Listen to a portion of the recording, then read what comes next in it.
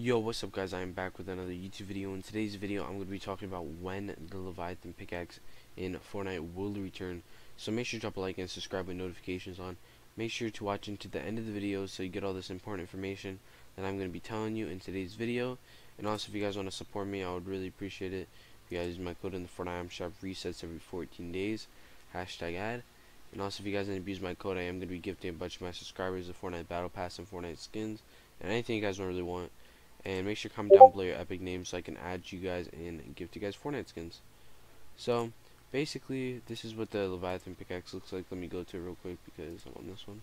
This is what it looks like and it's pretty clean. It's nothing too crazy but it's uh pretty good and I do like it and I think it's a very very um good pickaxe. Now this is what it sounds like and looks like. So it's nothing too crazy. It's not like a like marshmallow one where it's like really loud or something, which a lot of people like, including myself. And it's a very good um, pickaxe to have. Now this pickaxe actually has not been in the Fortnite item shop for a very very long time.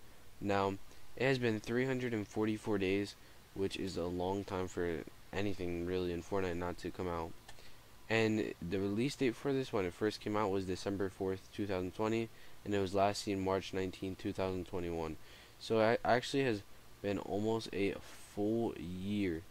Now, I have two predictions with this, and um, yeah, so my two predictions is my first one is that basically after 365 days, it will end up coming back into the Fortnite item shop because they want to hype it up. They want to make sure they have enough time where people actually really, really want the pickaxe and um, it has not been in the Fortnite shop for such a long time. And this pickaxe is already hyped up a lot, so obviously they're gonna make a lot of money when people purchase this pickaxe. And um, yeah, so that's my first prediction. After a full year of it not returning to the Fortnite item shop, then it will return into the Fortnite item shop. Right now it's at 344 days, and it's very close to 365. So my second prediction is, if you guys will go to the Battle Pass tab, and you see Season 1 um, through March 19th on the bottom. This is basically when the season ends. And if you guys don't know, usually with the season ending, they return a bunch of old stuff. They return everything that's been in the season, at least um this season, like season I believe, well chapter three, season one, and um yeah, so it has not been in the item shop for almost a year, and actually this happened, um this happens to be on the last seen. It was March 19th, so actually this would be a full year of it not returning to the Fortnite item shop if it does release on March 19th. So this does um, correlate with my other prediction kinda.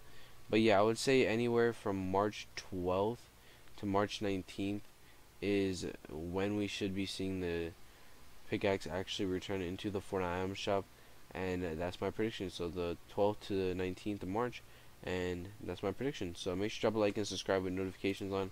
Make sure you use my code Fortnite shop resets every 14 days. Hashtag ad. And also, if you guys have any questions, make sure to comment down below. If you guys have your own predictions, make sure to comment down below. And see you guys in the next video.